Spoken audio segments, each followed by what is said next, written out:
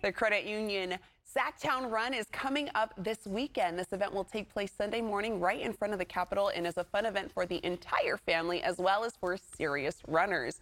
SchoolsFirst Federal Credit Union is a proud sponsor of the Credit Union SacTown Run. Here to tell us more is John Paymer, the chair of the Credit Union SacTown Run, along with Michelle Lindenberger, UC Davis Children's Hospital Nursing Professional Development Specialist. Welcome to the both of you. Thank you. Yeah, so I'm excited to talk about this. John, can you give us an overview of the run and what participants can, can expect? Well, hopefully they can expect no rain, right? We're Yeah. all tired of the rain, and hopefully they can expect to get out and do something fun. So, credit unions have long helped children's hospitals. When you open an account at a credit union, become a member, you become part owner of that credit union. Your funds stay local. The things that credit unions do stay local. Since 2012, when we started the Credit Union SacTown Run, we've raised over two and a half million dollars for children's hospitals in California and Nevada. Most of that has gone right here to UC Davis in Sacramento. So uh, this uh, Sunday morning, uh, we're going to have another event. Uh, it's a 5K, it's a one mile walk, it's a 10 mile run. It's,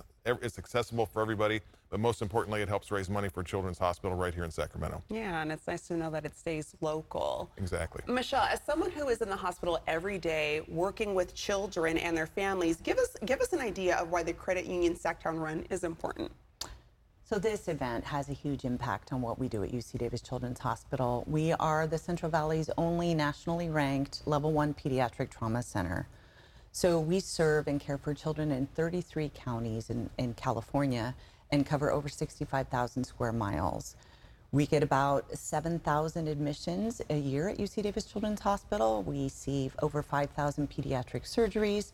And we also see over 16,000 children in our pediatric ER. So we really have a huge impact on the region in the care we provide for children. Being a Children's Miracle Network hospital, we are able to use these funds to advance in the research, the education, and the programs that we can provide. So it's, it's crucial and we're grateful. Yeah, what are some uh, examples of the way the hospital has used funds raised in past run events? Wonderful question. So, different um, areas where we've utilized those funds, we have a pediatric ultrasound um, IV uh, program that we use. So, when mom comes in with their baby, um, it's really the biggest fear knowing that your child needs to be poked for an IV.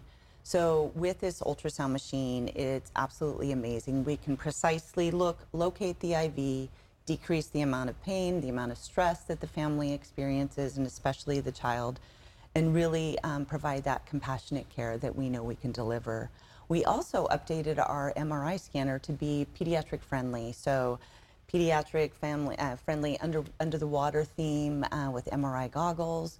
So, really trying to do everything we can to make this stressful experience one that is is not going to be. Yeah, and it's great that you're able to take those steps to do so for patients and their families. Yeah. Is there still time to register for the run? Absolutely, and you don't have to be a professional runner. You don't have to be a member of a credit union. Uh, there's something for everybody. Uh, there's a one mile that you can walk. There's a 5K that can also be walked. If you're a really good runner, you can sign up for a 10 mile run. There's even a beer garden at the end.